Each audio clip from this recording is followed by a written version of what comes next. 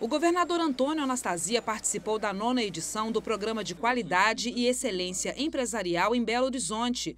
O encontro é realizado pela Câmara do Mercado Imobiliário e Sindicato das Empresas do Mercado Imobiliário de Minas Gerais desde 2005, com o objetivo de promover a qualificação das empresas do setor e valorizar aquelas que mais investem em capacitação. O governador disse que os governos devem criar todas as condições estruturantes para que o setor privado se sinta atraído a investir.